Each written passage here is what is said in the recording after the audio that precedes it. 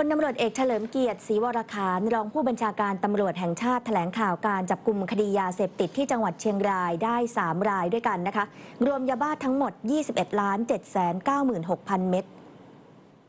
รายแรกนั้นเกิดขึ้นในเวลาตีสองครึ่งของวันที่ 4 เมษายนค่ะ เจ้าหน้าที่สกัดจับรถกระบะโตโยต้าสีดำหมายเลขทะเบียนผอพึ่งจอจาน 7343 เชียงราย และรถกระบะมิตซูบิชิสีขาว หมายเลขทะเบียนยอยักษ์ขอไข่ 3843 เชียงใหม่ ยึดยาบ้าได้9ล้าน798,000 เม็ดแต่คดีนี้คนขับหลบหนีไปได้นะคะ ปัจจุบันเจ้าหน้าที่ทราบรายชื่อคนขับทั้งสองแล้ว และเครือข่ายที่เกี่ยวข้องแล้วอย่างน้อย 5 คน อีกรายหนึ่งค่ะเกิดขึ้นช่วงตีห้าครึ่งของวันที่ 4 เมษายน ที่รีสอร์ทแห่งหนึ่งในอำเภอแม่สาย เจ้าหน้าที่จับกลุ่มผู้ต้องหาได้ 6 คน พร้อมของกลางยาบ้าอีก 2 ล้าน5 9 8 0 0 0 เม็ด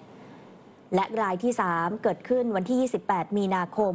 เจ้าหน้าที่ตำรวจสพบ้านดู่อำเภอเมืองเชียงราย สามารถสกัดรถกระบะที่ขนยาบ้าหนีการไล่ล่าของเจ้าหน้าที่ แล้วไปเสียหลักอยู่ตรงถนนบ้านห้วยเจริญตำบลแม่ข้าวต้มอำเภอเมืองเชียงราย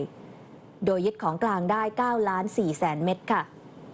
พลตำรวจเอกเฉลิมเกียรติบอกว่าจากการตรวจสอบกลุ่มผู้ขนยาเสพติดทั้ง 3 นั้น สันนิษฐานว่าเป็นเครือข่ายเชื่อมโยงถึงกันทั้งหมด ยาเสพติดก็ขนมาจากแหล่งเดียวกันด้วยนะคะ โดยการลักลอบขนเป็นจำนวนมากช่วงนี้ เพราะว่าก่อนหน้านี้ถูกสกัดกั้น อัดอั้นมานานค่ะ เลยพยายามขนเข้ามาพร้อม ๆ กันหลายจุดในช่วงเวลาเดียวกัน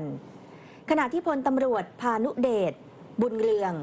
รองผู้บัญชาการตำรวจภูธรภาค 5 บอกว่ายาเสพติดที่ตรวจยึดได้ทั้ง 3 รายนี้นะคะ ส่วนใหญ่ประทับตราวายหนึ่งค่ะ บ่งชี้ว่าเป็นยาเสพติดที่ผลิตในเขตว้านเหนือ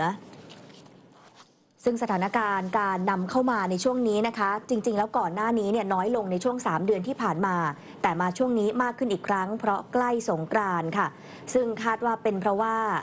เขาตั้งใจนะคะขนเข้ามาเยอะช่วงนี้ เพราะว่าเห็นว่าเจ้าหน้าที่เนี่ยไปปฏิบัติงานด้านอื่นเยอะในช่วงสงกรานต์ก็เลยขนเข้ามาในประเทศของเรานะคะโดยพลเอกประวิตยวงสุวรรณรองนายกรัฐมนตรีกำชับให้เจ้าหน้าที่เข้มงวดมากขึ้นด้วยนะคะในช่วงก่อนสงกรานต์นี้ค่ะ